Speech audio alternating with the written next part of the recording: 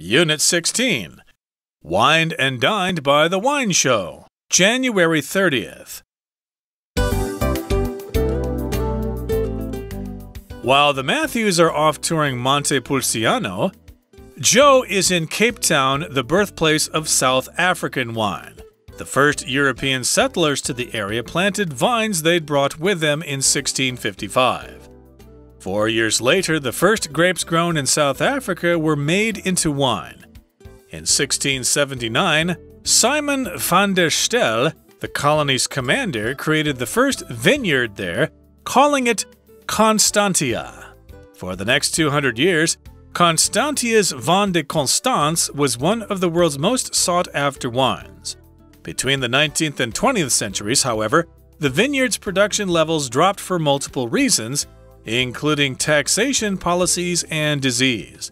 Production stopped for many years, and when it started up again, South Africa was living through apartheid. No one outside the country could buy Vin de Constance because of the sanctions placed on South Africa by the UN. Finally, in 1994, apartheid ended and South Africa's wine industry came back to life.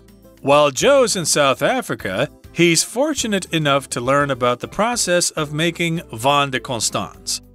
Arriving at the vineyard at 4 a.m., he sets to work picking ripe grapes bunch by bunch. Later in the day, while talking to Constantia's managing director Hans Ostrom, Joe gets the once in a lifetime opportunity to taste history Hans brings out a bottle of Vin de Constance from 1791, offering Joe a drink first bottled 228 years ago. Ecstatic about the amazing opportunity he's been given, Joe rejoins the two Matthews to tell them about his tale. Fortunately, he's brought gifts. Though he's unable to share another ancient bottle, Joe has returned with a modern day bottle of Vin de Constance and the men drank to their recent wine adventures.